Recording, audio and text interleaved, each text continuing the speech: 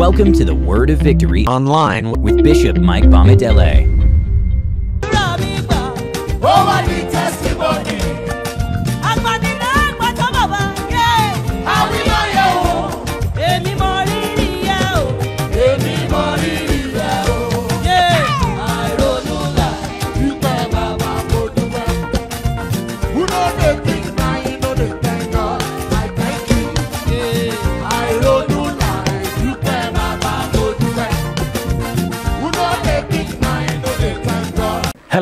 Welcome to the word of victory.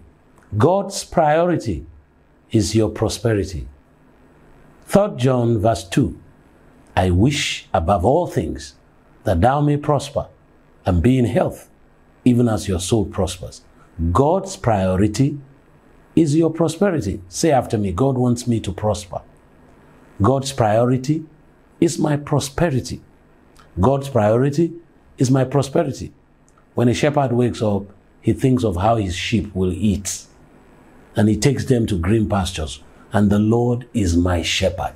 So when the Lord wakes up, as it were, he never sleeps nor slumber, his first thought about me is, how will I get him grazing ground?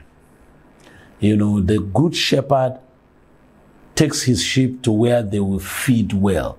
That's why the psalmist said, The Lord is my shepherd, I shall not want.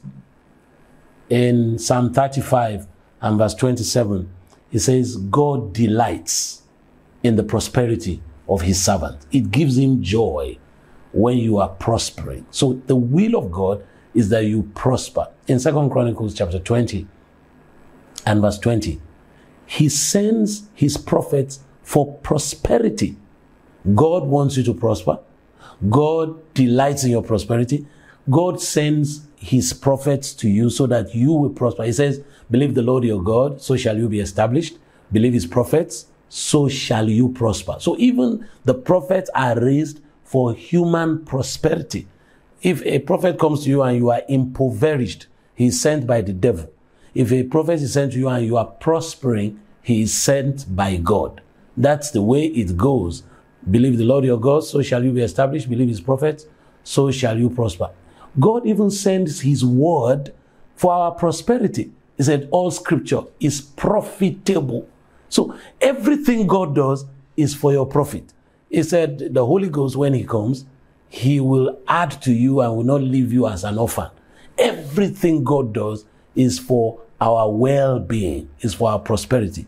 He says, The young lions do lack and suffer hunger, but they that seek the Lord shall not lack any good thing. God wants you to prosper as a priority. You will not be poor. You will not live in poverty. You will not live in penury. He said, I've been young. Now I am old. I have never seen the righteous forsaken, nor his seed begging bread. Ah, ah. In the name of Jesus, may your needs be met.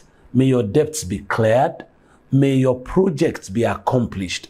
I decree today that you will have victory over every shade of poverty in the name of Jesus Christ, and that you will enjoy the priorities of God and begin to prosper in Jesus' name.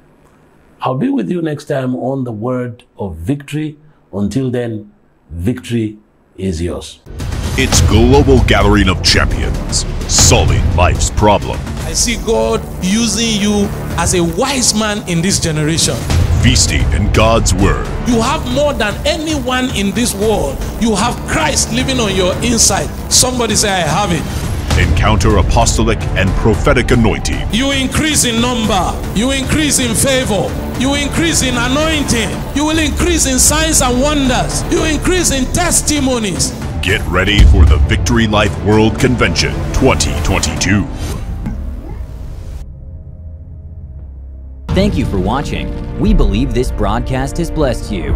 Word of Victory was brought to you by the continuous giving of friends and partners of Mike Bamidele's ministries.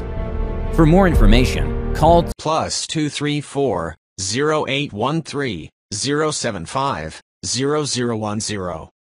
or www.victorylifeministriesinternational.org. Until next broadcast, victory is yours.